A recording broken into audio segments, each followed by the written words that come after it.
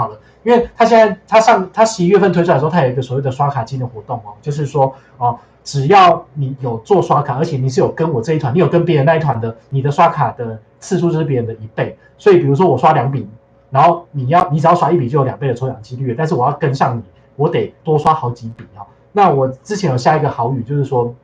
跟大家讲说，如果我有中奖的话，一万块就分大家。对，那非常的可惜，十一、十二月宝可梦没有中奖，但是我十一、十二月我用这张卡片，我至少有刷了四十笔到五十笔哦，但是我的中奖几率还是比大家差，我就知道你们的中奖倍率是有多高哈。现在这个活动会到三月底，请大家还是一样，你有这张卡片的话，欢迎你拿去做刷卡的动作。好，但是有一点要提醒大家，就是说，如果您有中奖的话，他会看您在这个月份的刷卡额来给你回馈多少。比如说，你你只有刷五十块钱，然后刚好你在二月份的时候你。被公布说你一月份中奖，那你只能够领五十块钱比较可惜。所以他他用这个意思，他用这种东西倒钩，就是把消费者扣住的原因，是因为他希望你去多刷卡，因为他的回馈率不高嘛，他只能够用抽奖来就是冲高这个刷卡额。那我觉得他这一点的设计是很不友善的，我有跟他们善意的提醒，好，但是他们说没办法，因为活动已经公布了，那没有关系，就是说我还是会用这张卡片每个月至少刷一万块钱，如果我有中一万块钱，就是我们这一团的人大家一起分哦，这是一样的道理。